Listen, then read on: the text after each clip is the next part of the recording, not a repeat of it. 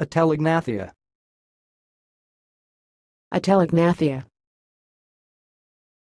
Atelignathia.